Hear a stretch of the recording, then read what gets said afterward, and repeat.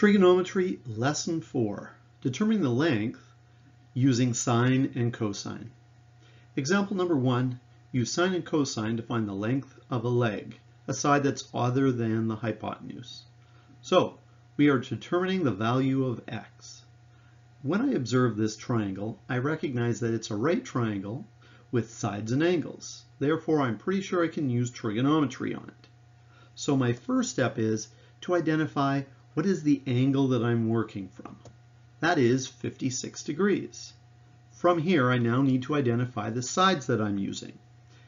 21 is the hypotenuse because it is across from the right angle. X is the opposite because it's across from the angle that I'm working with. So now which ratio has O and H in it? Well, that would be so. Unpacking that means that I am looking at sine of theta is equal to opposite over hypotenuse. I now fill in the values that I've got. I know that theta, or the angle I'm looking from, is 56, so I fill in 56 for theta. I know my opposite is x, so I replace my numerator with x, and my hypotenuse is 21. So I replace my denominator with 21. Now, I need to get x alone. So how do I get rid of 21? Well, x is being divided by 21. So to get rid of it, I would multiply both sides by 21. This allows the 21s on the right-hand side to cancel, leaving me with x is equal to 21 multiplied by the sine of 56. I'm now ready to punch this into my calculator. Don't forget, we're going to punch it in as 21 multiplied by the sine of 56 equals. Now that's if you have an on-screen. If you have a non-screen, you're going to do that in a reverse order. You're going to go 21 multiplied by 56 sine equals.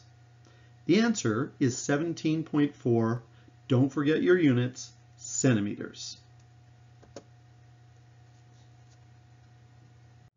All right, you should have tried this example on your own.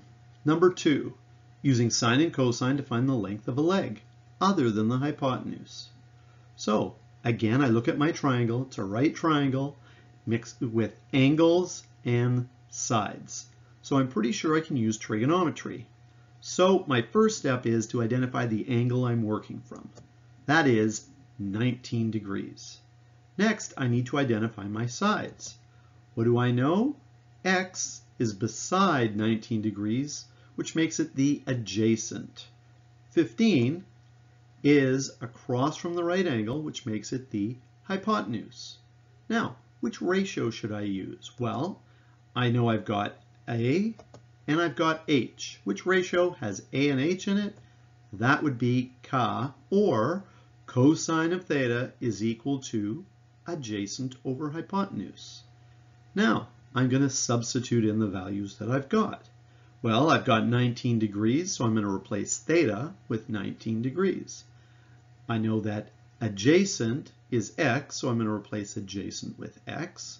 And finally, 15 is my hypotenuse, so I'm going to replace my denominator with 15. Now again, I want to get x alone or isolate the variable. So how do I get rid of 15? Well, x is being divided by 15, so I'm going to multiply both sides by 15. The 15s on the right-hand side will now cancel each other out, leaving me with x is equal to 15 multiplied by cos of 19 degrees. I'm now ready to punch this into my calculator, and again, with an on-screen an on-screen calculator, you would punch in 15 multiplied by the cos of 19 degrees equals. And you should get an answer of 14.2. Don't forget your units of feet. Example 3, using sine or cosine to find the length of the hypotenuse or the denominator. This is usually quite a bit more difficult because it involves an extra step. So, when I look at the triangle, it says determine the value of x. I recognize that we have an angle and we're working with two sides. This usually indicates trigonometry as a possible option. So my first step is to identify what is the angle I'm looking from. That is 65 degrees. Now, from here, I can identify what sides I'm going to be using. I'm going to work with 11 kilometers, which is beside 65 degrees, therefore it's the adjacent. I'm working with x, which is across from the right angle, therefore it would be the hypotenuse. So which ratio uses a and h? Well, that would be CAH, or cosine of theta equals adjacent over hypotenuse. So my next step is to fill in the values that I've got. I know that my angle is 65 degrees, so I replace theta with 65. I know my adjacent is 11, so I replace my numerator with 11. And finally, my hypotenuse is going to be x, so I replace my denominator with x. Now, notice, x is in the denominator, which means we can never isolate the variable as long as it stays in the denominator. So what do we do? We get rid of it from the denominator by multiplying both sides by x. This allows the x's on the right-hand side to cancel, giving me x multiplied by the cos of 65 degrees equals 11. I now need to get x alone or isolated. So how do I get rid of cos of 65? Well, x is being multiplied by cos of 65, so I am going to divide both sides by cos of 65. This allows the cos of 65s to cancel on the left-hand side, leaving me with x is equal to 11 divided by the cos of 65. I now am ready to punch this into my calculator. So I would punch in on an, on an on-screen calculator 11 divided by the cos of 65 equals, giving me an answer of x is equal to 26. Don't forget your units. So my answer is x is equal to 26 kilometers. Word problem. Jimmy is flying a plane at an elevation of 4,200 meters. If the angle of depression from the plane to the base of the airport tower is 11 degrees, how far is the plane from the tower?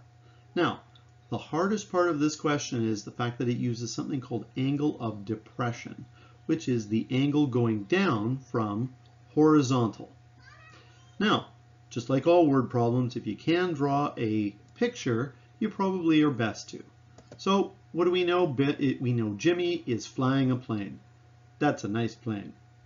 And he is flying at an elevation of 4,200 meters. Elevation means a height above the ground.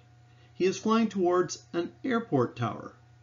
And the question wants to know how far is the plane from the tower. So that's going to be my unknown. I also know that we are dealing with the angle of depression. So I draw a horizontal line from the plane, and I know that the angle going down from the horizontal line to the to the tower is 11 degrees. I also know that, again, my unknown is x or the distance from the plane to the tower. Now, what I should notice is that if the ground is a uniform height, that this is going to form a right triangle. Now, I also notice that if I drew a line horizontally on, this, on the other side, I would have an identical right triangle to the original in a different orientation. This allows me to do different possible ways of solving this problem. Now, I notice that my 11 degrees is on a different triangle than 4,200 meters. This makes it very difficult to solve. But I also notice that if I, my ele elevation goes straight up and my horizontal line is straight across, this forms a right angle. I can use this to figure out the angle on the same triangle as 4,200 meters. What do I know? A right angle is 90 degrees. So to find my missing angle, I would just have to subtract 11 from 90 degrees, giving me 79 degrees. Now, on the same triangle, I have an angle and I'm working with two sides. So I think I can use trigonometry here. I just need to identify my sides that I'm working with. So in order to do that, I need to know the angle I'm working from. That is 79 degrees. I identify 4200 as my adjacent because it is beside 79. I identify x as my hypotenuse because it's across from the right angle. So, what ratio uses A and H? Well, that would be CAH or cosine of theta equals adjacent over hypotenuse. I'm now ready to substitute in my values. I know that the angle on this triangle is 79 degrees. I know that the adjacent is 4200 and I know that my hypotenuse is my unknown. Now, again, this creates problems because x is in the denominator, which means we can never isolate it as long as it's in the denominator. So we're going to have to remove it from the denominator. How do we get rid of a denominator? We multiply both sides by the denominator. So I multiply both sides by x. This allows the x's to cancel each other out, leaving me with x multiplied by the cos of 79 is equal to 4200. Again, x is not isolated, so I've got to get rid of cos of 79. How do I do this? Well, x is being multiplied by cos of 79, so I'm going to divide both sides by the cos of 79 degrees. This means that cos of 79 and cos of 79 are going to cancel. Therefore, x is now isolated, and on the other side I've got 4200 divided by the cos of 79 degrees.